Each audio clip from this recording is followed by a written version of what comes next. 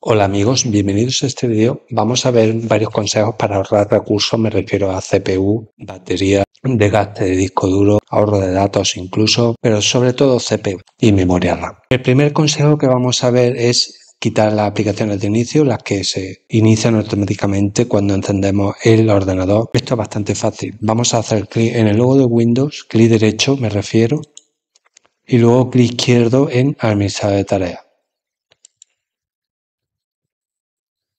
Vamos a ir a la sección de aplicaciones de arranque.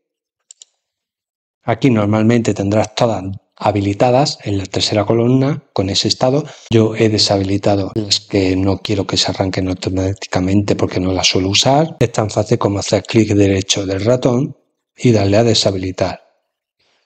Si te aparece aquí alguna aplicación que no reconoces, puedes hacer clic derecho y darle a buscar en línea. Así te va a llevar automáticamente a Google y te va a hacer una búsqueda para que te informes un poquito de qué hace esa aplicación y si te interesa que arranque automáticamente o no. Otro consejo sería desactivar las aplicaciones que funcionan en segundo plano, es decir, que están funcionando aunque no las estés viendo tú eh, en primer plano en la pantalla. Quizás te interese desactivar alguna. Para ello, puedes ir otra vez al logo de Windows, hacer clic derecho, luego clic izquierdo en configuración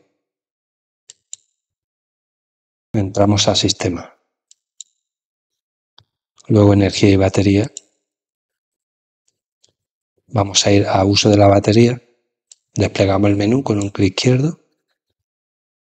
Aquí abajo podemos ver las aplicaciones que más consumo tienen. Si no, en ordenar por tienen que poner en segundo plano, más bien. Es lo más útil. Vamos a ver aquí. Si observan, los tres puntos no están iluminados. Eso significa que no puedo, lógicamente, el sistema tiene que estar funcionando en segundo plano. Pero, por ejemplo, WhatsApp, que tiene un 2% de consumo de batería en segundo plano, no me interesa. Entonces voy a hacer clic en los tres puntos. Ahora seleccionamos Administra actividad en segundo plano. Buscamos la sección de permiso de aplicación en segundo plano. Del menú seleccionamos Nunca. A partir de este momento, para que WhatsApp funcione, tengo que abrir la ventana. ¿Vale? Bueno, pues estos son mis dos consejos para ahorrar CPU de hoy. Volveremos próximamente con más trucos. Un saludo y buen día.